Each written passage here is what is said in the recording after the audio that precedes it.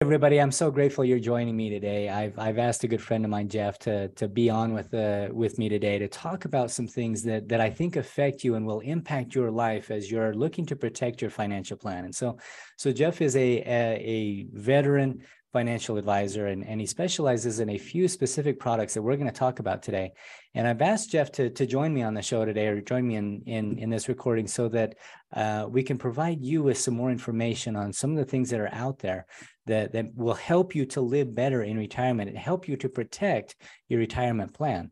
I know for, for most of us, we tend to focus on what we do, right? Uh, whether we're a school teacher, a doctor, a lawyer, whatever, we do what we do. And what everybody else does just kind of seems confusing. And this is especially true when it comes to financial products. And so that's why I've asked Jeff to jump on with us and, and clarify some of these things to, to give you some understanding on that. And so, Jeff, thanks again for being with me today. Um, let's uh, let's give you a few minutes. You can introduce yourself and tell us all who you are and, and where you come from. Very good, excellent. So, um, well, first of all, thank you so much for having me on. Yeah, let's, let's start there. And uh, I think that the um, you know the video will tell a story uh, that I am not a traditional uh, financial advisor. Most of those guys right now would be wearing a three-piece suit, um, very stuffy. So it's going to be a lot more loose than that uh, today. So I hope hopefully they um, get two things out of it. One, they're able to enjoy a good dialogue between a couple guys who uh, really enjoy what they do, and and I think number two is uh, hopefully they they garner some value from what I'm about to say as well. Um, so I have a background in um, mortgage financing as well, so that's I think something that we share in common. Um, yeah. I've been now uh, an advisor in the financial business since 2008 to 2009. I'd say got licenses in, in 08 and then uh, much like anything else, took a little while to, to get the wheels turning, right? Um, that's about so, the time. Yeah, I'd say that's about the time I got into mortgages. It's uh, it was a challenging time to gen- to join our industries. So for sure, and and it was uh, an interesting time because that's usually the question: Why did you ever leave the mortgage industry? I said, well, the the market helped me with my decision. you know? Oh, good. Well, wonderful. Well, uh, let's uh, let's dive right into this. I want to give you plenty of time today to to kind of tell us, um, you know, as I mentioned in the opening, there are so many financial products out there and it just becomes really overwhelming and confusing and and so when i talk to my clients and we talk about the assets they have and how they're going to protect them and what they should buy or what they should you know not buy those kinds of things um, it's it's just very overwhelming especially for somebody who does not know the industry and so um, why don't you kind of lead in now and, and tell us a little bit more about the things that that you'd like to highlight for us? Most definitely um, I well, I like to highlight first, and I know we talked about a little bit um, because you have a, it's a very valid point that you made in that uh, we all know what we know. Um, sometimes uh, we don't know what we don't know, and a lot of times, sometimes what we think we know just ain't so. Have you ever heard that before? Yeah, for sure. Uh, so I, I, find, and you know, obviously, we we speak to people inside of industries that touch ours quite frequently based on what we do, but I find that um, sometimes I'll have conversations with folks, and they'll say, "Oh, it's that's opposite what I heard from my CPA, and I'll, and I'll give you a good example of that. Um, many times, and I think you'd agree because I, obviously you interact with CPAs quite a bit. Their job, and by the way, uh, kudos to them. Their job is to save us taxes. Yes. Yeah, exactly. Okay. In fact, I'll go one step further and I'll tell you that if my CPA doesn't save me taxes, he's probably not getting a check this year, right? I mean, that's, that's, his job, and they and they understand that. And usually do a good job of it. The problem is that um, a lot of times, not for everybody, but they're they're dealing with things on a year to year basis with the average American, right? Uh, the average family, and and sometimes paying more taxes today saves you a lot of taxes on the back end with some of the products uh, and vehicles we're working with in the financial business. Interesting. And for some people, that's a tough pill to swallow. And yeah. I'd say for CPA, it's a really difficult conversation to have. Hey, you know, you could have a lower tax basis this year, therefore get a larger tax return, or you could actually pay some more taxes this year because in, in the future that would be better for you. So that's a that's a tough conversation I think to have. So that being said, yeah, it's a fascinating topic. It's a fascinating topic because I think uh, in general people love the kick the can down the road mentality. You know, they don't want to see what the consequences are. They're just going to assume it's going to work out, but uh, it's a true testament to to to professional advising that that we want to look at your life both today and 20, 30, 40, 50 years from now. We want to look at the whole picture to make sure we're doing the best thing for you. Most definitely. Most definitely. And, um, and that's why I've enjoyed our conversations so far, uh, all the conversations that we have had. And um, so I think um, moving from there and just kind of giving people a little bit of an understanding, uh, I think we've been driven in the financial business, and Trevor, I think you'd agree, that people for the most part are buying uh, products based on the, this promise of this rate of return, right? And uh, and that's that tends to be what drives people. Would you agree with that statement? Oh, for sure. Mm-hmm. Okay, and, I, and not that that's not important, but I, I like to call that the the motor that we're sold. and and I don't know about you, but if I'm buying a boat, I'm not buying the little motor. I'm I'm getting the big motor. Sure. I think I'm about to learn something. Did you would you buy the big motor? Yeah. yeah. So we're because we are sold that, but the, the problem is we're, we're not told is when they strap that big motor on the back of the boat and we get out in the middle of the lake, if they didn't disclose the fact that this particular boat has a lot of holes in it, I don't think that the size of the motor now matters to the fact that we're probably going to sink anyways. Agreeable? Yeah, for sure. Okay. So what we find our process is is to actually rather than focusing on necessarily the rate of return or the size of the motor up front, I think the bigger part of the equation is to actually go through people's financial uh, situation, their circumstances, and to slowly start plugging in those holes in the boat. And some of those holes would be paying too much taxes, losses in the market, and I think a lot of people are going to be nodding along with that right now, right? the way the market sure. is inflation, which is a very big word right now. I think people, uh, you talk about that for the last five years, people will nod along when you say it. But I think now when people are leaving the grocery store with two bags in their hands and they're paying $100, where that just didn't used to feel that way, people are connecting with that more today. Um, you know, market timing, all of these things are, are holes that they're dealing with in the boat. And, and if we can go through and do a good job of that, well, now we can start focusing on talking about products talking about rate of return and so forth. And I think it's a little bit more responsible to do it that way because it's traditionally not done that way, as crazy as that sounds. For sure. Yeah. I love the I love the visualization you give there, and I, I I saw that you use this analogy quite a bit on your social media, where where you're talking about plugging the holes in the boat because it's such an accurate description of what retirement feels like for most people today, right? Feels like we're just slowly sinking and we're just hoping that that um, uh, you know we don't run out of money before we die right? And it's such a hard way to live. And so it's a it's a really good analogy for for the way people uh, you know live and feel in retirement. Yeah for sure. And i think that's a that's actually a great lead in for some of the products that we have today at our disposal. Um, not that i want to be have people get the idea that you know we're all product centric but mm-hmm. um, at the end of the day, your money goes somewhere, right? And, sure. and it's going to be a product. And they're built today around um, a lot of uh, correcting a lot of the misnomers or the things that had happened in the past around, I'm going to use a bad word, annuities, for example. Sure. Right. And uh, and I think that they're becoming a little bit more popular than they were. It's a little bit of an easier conversation approach today than it would have been five years ago or even uh, further back.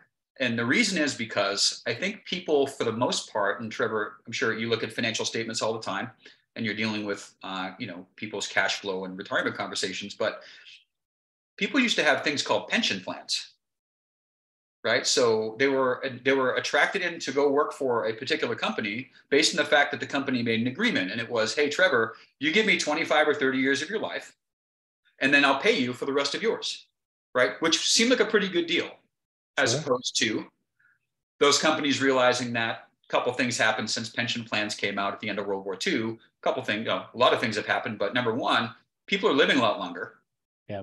Right. And companies are realizing they just cannot hold on and they cannot continue to fund those pension plans. Yeah. So those were replaced by qualified retirement plans, right? Like 401ks and 403bs, which now puts the onus of retirement savings back onto the employee for the most part. Yeah. Okay. I just don't remember the, anybody coming on the news and announcing that shift, right? We used to take care of your retirement, not so much anymore. But now to have that dialogue with somebody and say, look, those old 401ks, the IRAs, some of the things that are sitting out there today that you do have, you can actually transition those and roll those into plans that have annuities inside. What's the importance of that? Well, a couple things. One, we get to plug some of those holes in the boat right? We get to, with the right type of annuity product, we get to stop from market risk. You don't have to take the losses when the market falls. You can make money when the market comes up and it locks in and that becomes your new principal. I think that's super important. But the most important part is I can tell somebody right now with an illustration based on their age and how much money is going into the product, annuity specifically, exactly how much money they'll be able to spend from that annuity every single month for the rest of their life to the penny. It's wow. not it's not if the moon and stars are in alignment, if the market does well, a lot of ifs. It is literally this is the number. Right. Oh, I love that. And and you know, an analogy that I use with my clients a lot of times that that comes up for me as I'm as I'm listening to you explain this is if if I had a heart attack today and I need surgery immediately, I don't go to my family practitioner for advice, right? I go to a cardiovascular surgeon, right? A guy that's done 10,000 of the surgeries that I need. Um, and and that, you know, talking about annuity specifically, if if you go to your your brother-in-law that dabbles in financial planning, right. he's not going to understand it, right? And so it's it's key whether it's uh, this 401ks or anything else. That I, I think that illustrates the point that you've got to talk to somebody who does a lot of these, who knows how to structure them and plan them in a way that that that will help it to to perform well for you. I, I would have well, I would definitely agree with that statement, but uh, I would assume people would would hope that I would agree with that statement. But uh, I, you know, I think more importantly too, and, and folks need to understand where there's so much, and I know in, in in the mortgage business, there's just so much to sift through when it comes down to products and, and so forth. And it is important why people would work with an advisor such as yourself for what, for what you do. Um, but it's the important part is to be able for us to sift through all of these products and start to really fit something that's going to actually work for somebody. Yeah. Right. And I think one of the biggest questions people have, and they're probably already thinking about it, is yeah, but I've heard with annuities, you give them this money and then they'll start paying you. And then if God forbid you you die or you pass away young, they just keep they just keep your money. Right. And uh, I can't tell you at one point that was true uh, it is not true anymore, however. The oh, rest, great. the balance of the money actually goes um, as a death benefit to your beneficiaries, and if set up correctly, outside of probate. Wow, that's fantastic. Yeah. I had no idea. That's news to me. That's really cool. I didn't know that was possible. Keywords being if set up correctly. If set up correctly. Right. Wow, fascinating.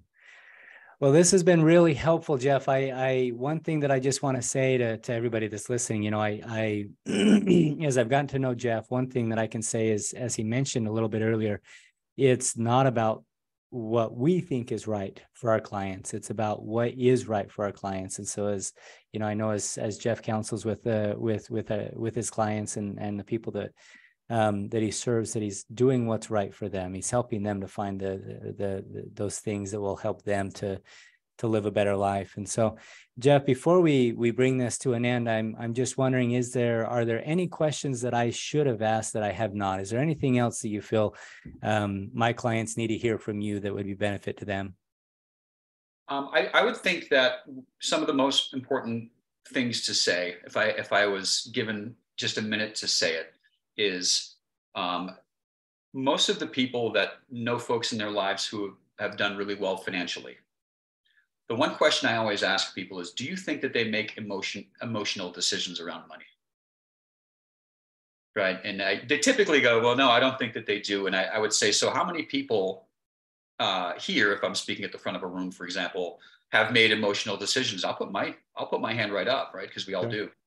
Um, and so I just say, does it make more sense maybe than to have some sort of a system in place, sort of filters that you would make decisions around with money?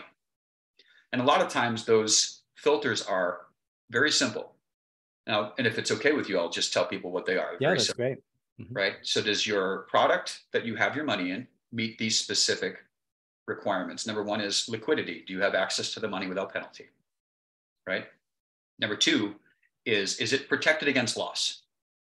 Okay, are you going to lose money, and how much? And how much of that money are you willing to lose? Right. Based on how far you are away from retirement.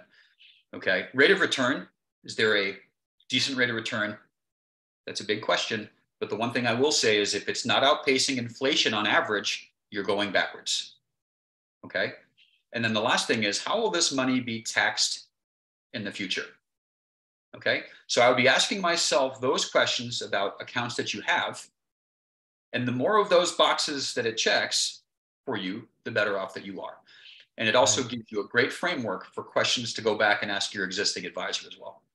I love that. Well, perfect. Well, um, to everybody that's listening, again, if you, you know, it's it's hard for us to cover everything in this brief of a of a setting, uh, but I hope that the that this has raised some questions that you need to be asking yourself and and whether or not you've explored all of the options that are available to you because again there are things out there that could really help you to live better. And so um, get in touch with me uh, send me an email give me a call shoot me a text. I would love to connect you directly with jeff and he'll look at your situation. Jeff any other things that uh, any how can people connect with you online? Uh, social media email how can they reach out to you directly? It is amazing how how how connected we are today. I'm you can find me on Instagram. I'm on uh, Solve for X Financial on Instagram or any of the socials. You can find me at Solve for X Financial. Um, and you can find me at Jeff at Solve for X solveforxfinancial.com. Perfect. Solve for X Financial. I love it. All right. Well, thank you again, Jeff, for your time today. And I uh, hopefully we'll be talking again soon. Thank you, sir. Appreciate your time. All right. Thanks, guys.